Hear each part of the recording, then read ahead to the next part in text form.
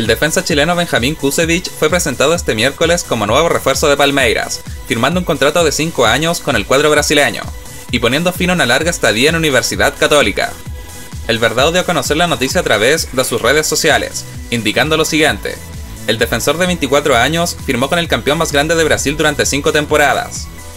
La venta de Kusevich desde el UCEL Conjunto Paulista está contemplada por un 50% de su pase, por lo que la parte restante quedará en poder del cuadro de la precordillera para futuros movimientos.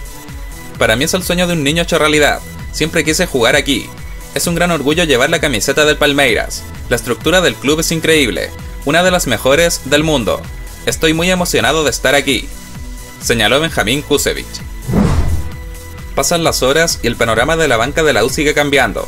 Si hasta comienzos de esta semana el claro favorito para asumir en reemplazo de Hernán Caputo era Martín Lazarte, las negociaciones con el uruguayo se han trabado y su llegada ya no estaría tan clara. De hecho, en estos momentos hay un nuevo candidato número uno, José Luis Sierra. El Coto fue uno de los nombres más sorprendentes que aparecieron en el proceso de búsqueda de entrenadores por su pasado en Colo Colo, pero cuenta con el aval del presidente Cristian Auber, quien además conoce a dos de sus colaboradores, el preparador de arqueros Eduardo Sargado y el PF Marcelo Canesa.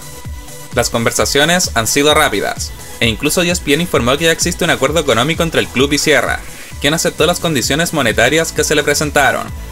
Aunque su firma todavía no es inminente, el director sigue analizando otras opciones, y también está el factor de la repudiable amenaza que los de abajo realizaron en su contra en redes sociales, señalando que no aceptarían que llegue un entrenador identificado con el archirrival,